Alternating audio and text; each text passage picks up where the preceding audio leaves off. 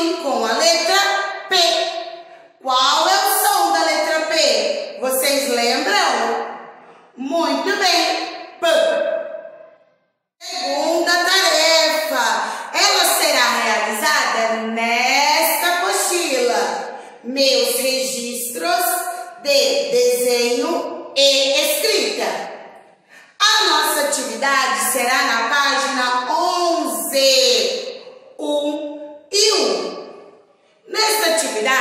vocês irão escolher um familiar, a mamãe, o papai, a vovó, o vovô, a irmã, o irmão, quem vocês quiserem.